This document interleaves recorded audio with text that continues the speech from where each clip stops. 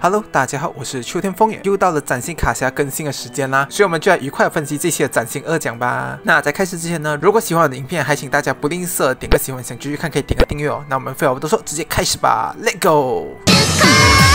那么这次的崭新二将灵芝孢子奇诺，那它种族属性是火妖哦，队长计算是硬限制火属或妖精入队啦。毕竟要挑战陷境关卡，没有一点血量真的是有点难玩的。给的三维倍率其实不算低哦，要拿来给妲己当副队长，其实也是有机会的。尤其是关卡有追打盾的时候呢，算是可以考虑一种选择啦。只是说为什么这次两张大奖都想抱妲己的大腿啊？虽然这么香的腿，我也想抱就是了。奇诺队伍技能呢，其实分成两个部分啊。第一个部分是只要灵芝孢子奇诺做成员就能触发，只要敌人背上中毒或者是烈毒状态呢，就会魅惑敌人一回合，还会让中毒状态的敌人受伤四倍。如果能够配合天蝎这种能够被动毒人的卡片呢，说真的还算是挺实用的。毕竟它又有控场又有增伤。不过这能力其实就比较偏娱乐，毕竟能靠被动不靠技能去上烈毒或者是中毒的卡片偏少。如果要靠技能才能上毒的话，那还不如直接带一个增伤，效益可能会更高一点。而且你还是要绑两个位置，就为了这个增伤，说真的是有一点过了啦。更不用说这能力要触发，还要敌人可以被控制，所以个人觉得这部分实战价值其实偏低啦。只是我很好奇的是，这个毒还会附加魅惑，该不会这毒是春药吧？惚れ薬など存在するわけがあるまい。好きじゃないよ。 那第二部分呢，就是奇诺做队长的时候就能触发能力哦。这里一样不看闭眼，只看比较特殊的能力哦。首先是防毒和挡死啊。那挡死就是妖精最基本的生存能力啦。毕竟妖精本来生命值就偏低嘛，单变两倍血，说真的也不一定应付得了现今的关卡哦。而且这组合还避免了遇上中毒扣血时没有办法触发挡死的情况。整体其实还是相当实用的。移动手五颗还会转化为星妖腐蚀，但这能力其实在现今环境来说不是这么好用。虽然星珠有全歼一百五十帕的效果，小刀也能触发背攻和加坑的能力，但是这种能力要驾驭其实是需要一定手转实力的。所以整体来说呢，奇诺当队长还是有一点难度的。虽然因为他也可以抱妲己大腿啦，所以应该是不至于不能玩。但相信在他加坑不多，没有自带武士敌技能力，又很吃手转的情况下呢，估计除了抖 M 外，应该是不太会有人拿他当队长去挑战陷阱关卡的啦。予想外に燃えるシチュエーションだ。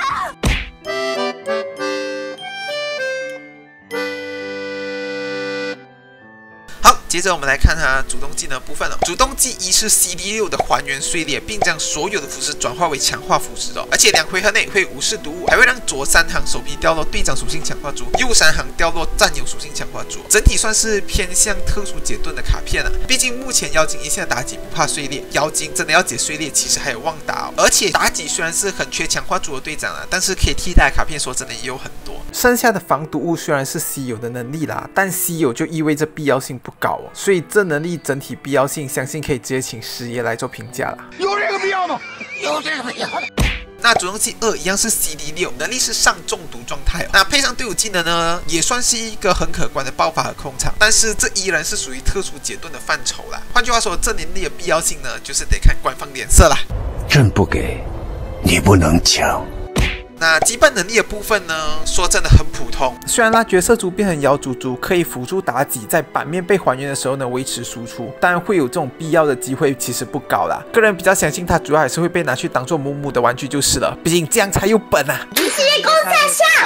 那总的来说呢，奇诺算是一张偏娱乐卡片，虽然二奖向来都是这样啦，毕竟妖精一线的妲己没有一定要他的理由。虽然他出了妲己队，应该还是会有出场机会的，但是就目前环境来说呢，要玩其他妖精队真的需要一点爱啦。所以个人觉得没有什么爱，应该是不需要特地去把它抽出来的。当然，如果你是蝙蝠侠的话，可以当我没说。What are your superpowers again? I'm rich. 好啦，以上就是这期崭新二奖的介绍。个人觉得是一张挺有意思的卡片啊，但入手必要性就真的没有很高。加上这次过年黑金，感觉官方又要作死一波，所以个人觉得是省一点会比较好啦。那就这样啦。如果大家对于这次分析有什么意见的话，欢迎在下方留言讨论哦。我们在下一星期的绝缘云分析再见啦，大家拜拜。